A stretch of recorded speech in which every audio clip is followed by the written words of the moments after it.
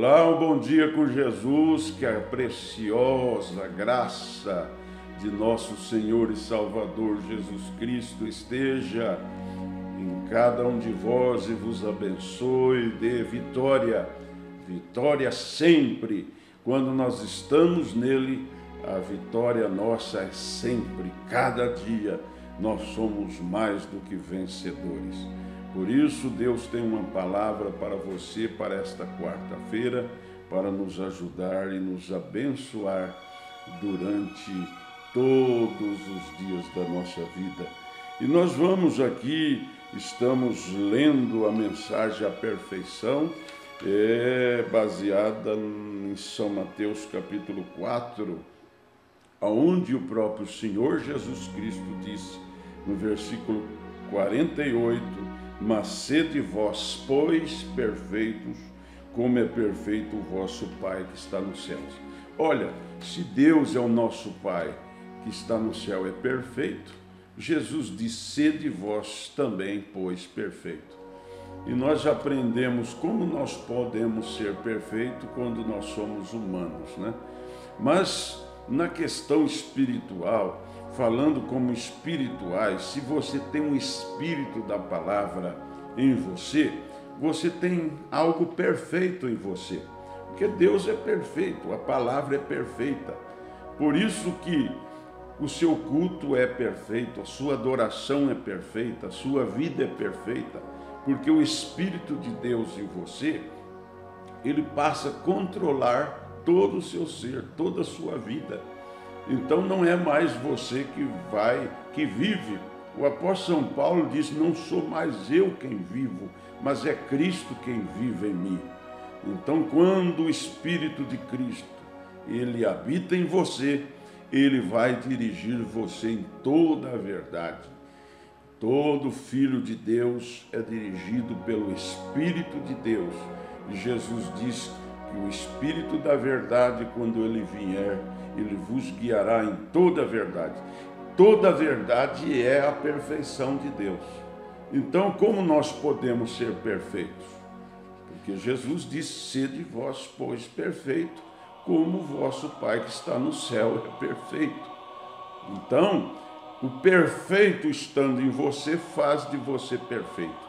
Por isso que o Calvário, veja, é a perfeição de Deus sobre nós quando nós nos arrependemos daquilo que nós fazemos, na questão humana, nós falhamos, logo você se arrepende.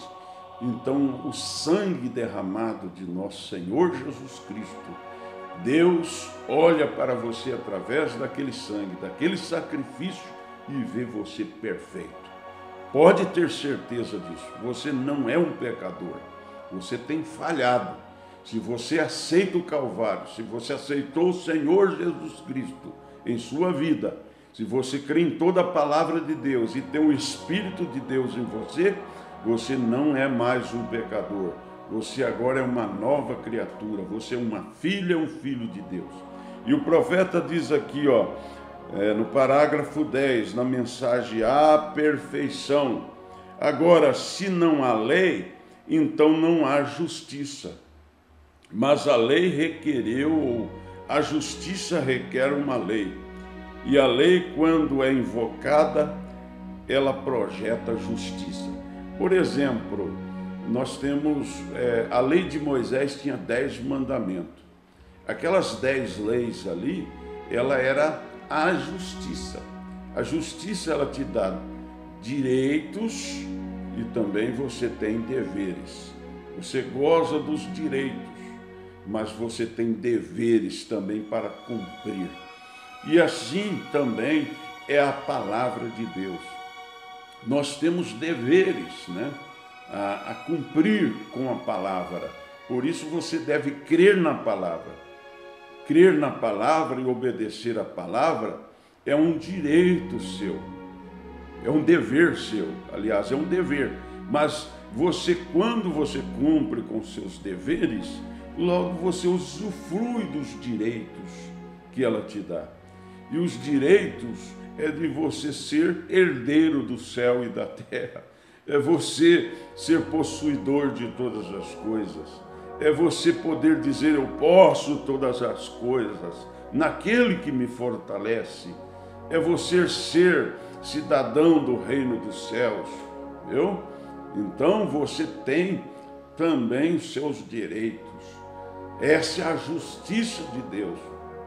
E por isso nós estamos aqui para não pecarmos contra a justiça de Deus.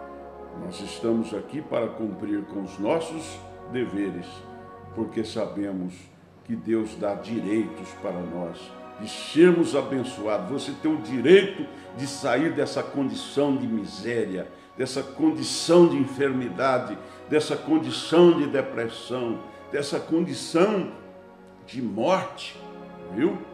E você está pensando em coisas ruins a seu respeito, é, Deus te dá esse direito de você ser possuidor da vida eterna. Deus te abençoe, Deus te guarde, Deus te dê um bom dia com Jesus.